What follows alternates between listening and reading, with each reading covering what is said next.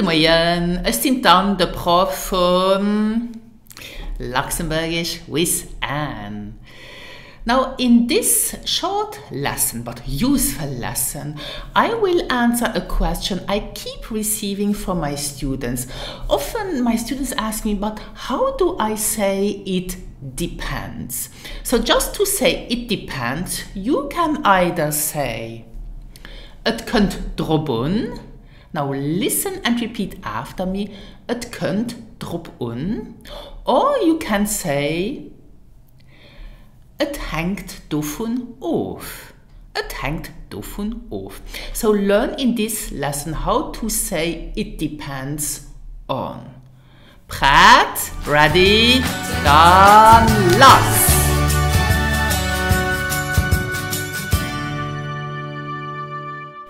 In Luxembourgish you have the option between two verbs to say it depends on.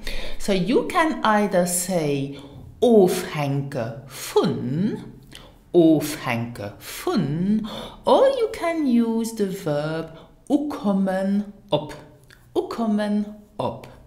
Now both afhangen von and ukommen op are separable verbs. Now this means that in a sentence, in a normal sentence in the present tense, you will have to put the separable particle, so of for the verb aufhängen and u for the verb ukommen at the very end of your sentence. And very important, aufhängen von and ukommen op are not only separable verbs but as well verbs which requires a preposition. So you have aufhängen von, the preposition is von. And von always requires the dative case. And ukommen op, the preposition is op. And here we will use the accusative case. Let's illustrate this with a sentence so that you have a clear picture of this. For example, how would you say in Luxembourgish, it depends on the situation? Knowing that situation is a feminine noun in Luxembourgish. So you can either say, it kunt op situation un, here we are in the accusative case, it kunt op situation un. So the situation, so the D apostrophe, is the, uh, the feminine article in the accusative case. But if you want to use the other verb, you will have to say Het hangt von der Situation af. So the D apostrophe becomes da in the dative case. Het hangt von der Situation af. Okay? Let's not complicate this in this lesson. To avoid any confusion, I just want to help you how to say it depends on in Luxembourgish. And so we will concentrate uh, on the verb aufhängen von because this is the most commonly used one.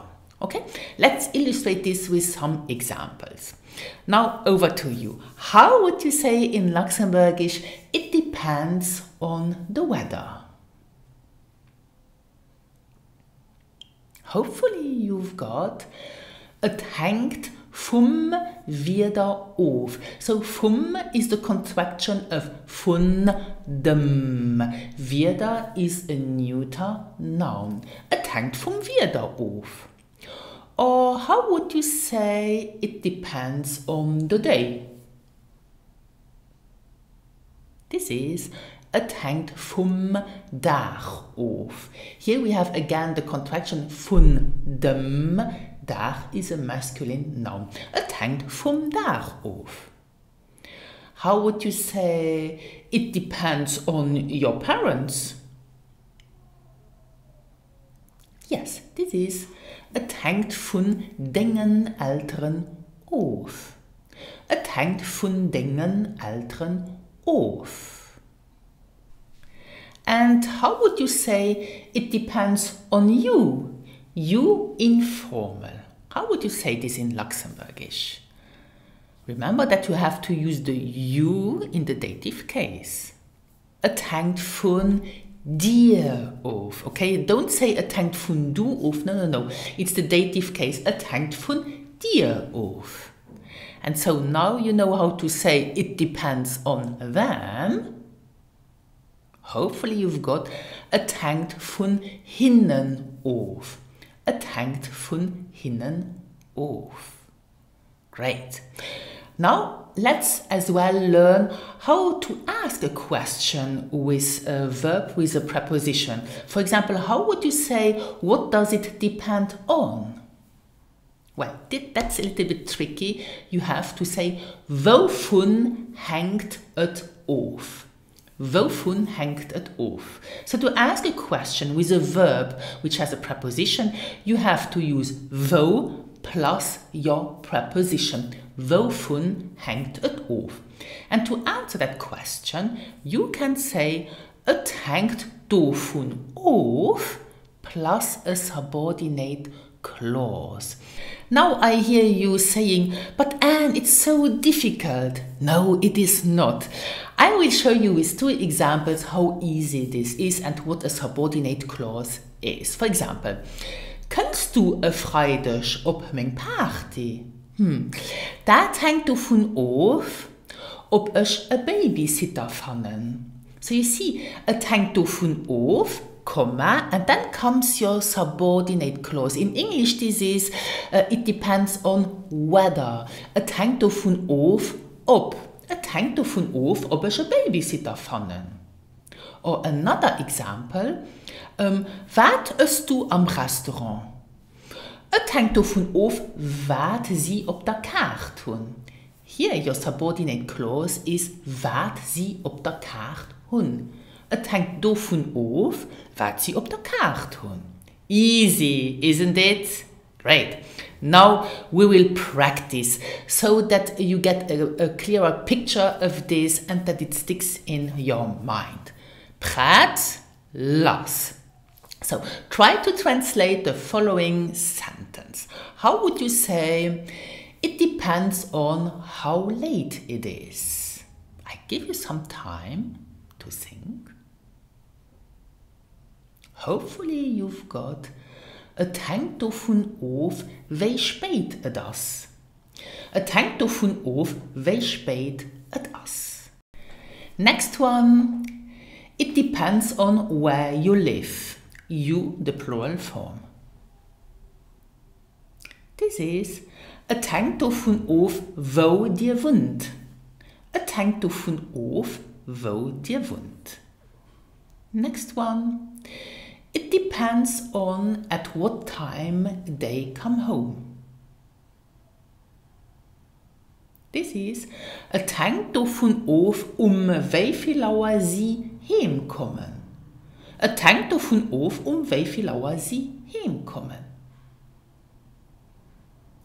It depends on whether I have a lot of work. Hopefully you've got et hängt davon af, ob ich viel Arbeit tun. Et hängt davon af, ob ich viel Arbeit hun. It depends on my mood. Et hängt von meiner Laune auf. Are you coming with us this evening? I don't know. It depends on where you are going. This is. Kannst du Madeis den? Ich weiß es nicht. Es hängt davon auf, wo dir geht. I repeat. Kannst du den Abend Madeis? Ich weiß es nicht. Es hängt davon auf, wo dir geht. And the last one.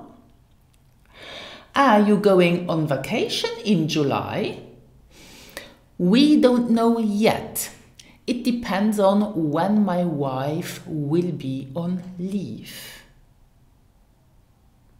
This is Git dir am Juli an Vakanz. Mir wissen et nach net, Et tankt davon of op még Fra kongé krit. So here you have mir wissen het net, we, we don't know yet. Het hangt davon af ob mein Fra congé. And to finish this lesson, I will tell you that there is a third option to say it depends is in Luxembourgish je nodems. Je nodems. I hope that you liked this lesson and don't forget that you can read the full transcript of this lesson and download the PDF copy so that you can print it and repeat it uh, on my blog luxembourgishwithanne.lu. Thank you for watching.